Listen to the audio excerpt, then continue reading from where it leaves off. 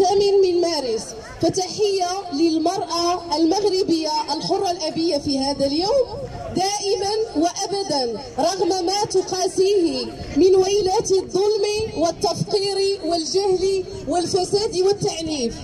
تحية للمرأة المغربية عاملة في داخل البيت وخارجه. تحية للمرأة المغربية أما وأختا وابنة. كما لا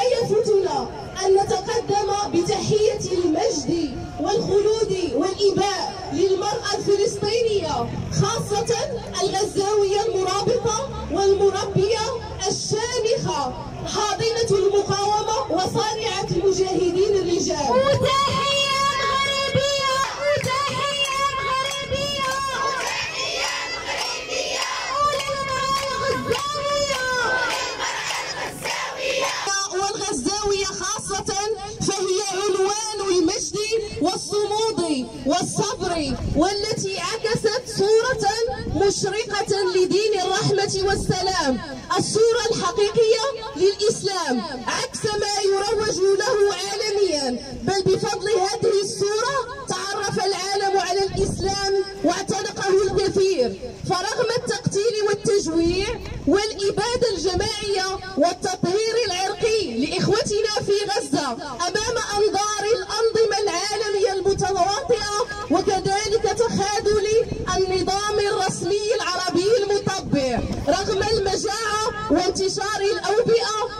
والأمراض وعدد الشهداء الذي فاق الثلاثون ألفا نستحضر قوله تعالى وعسى أن تكرهوا شيئا وهو خير لكم وعسى أن تحبوا شيئا وهو شر لكم والله يعلم وأنتم لا تعلمون.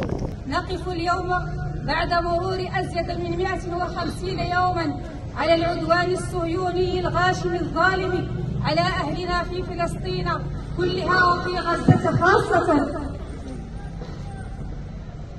عدوان صهيوني ظالم غاشم يقابله صمت عالمي مطبق وخذلان عربي سافر قتل ودمار وتشريد وتجويع وتنكيل ومعاناة كان للنساء فيها النصيب الأكبر. فلا نجد منهن إلا صابرة فلا نجد منهن إلا شهيدة أو جريحة أو مفقودة أو أما لشهيد أو شهداء. أو زوجة لشهيد أو أختا لشهداء. ألم وفقد ومعاناة ولم نرها إلا صابرة محتسبة جلدة صبورة مقبلة غير مدبرة. تقول كله فداء لفلسطين والأقصى والمقدسات. أنتن حقا يا نساء غزة وفلسطين. أنتن حقا فخر نساء هذه الأمة. بل فخر نساء العالم أجمعين. بالدم نفديك يا فلسطين بالروح بالدم نفديك يا فلسطين تحية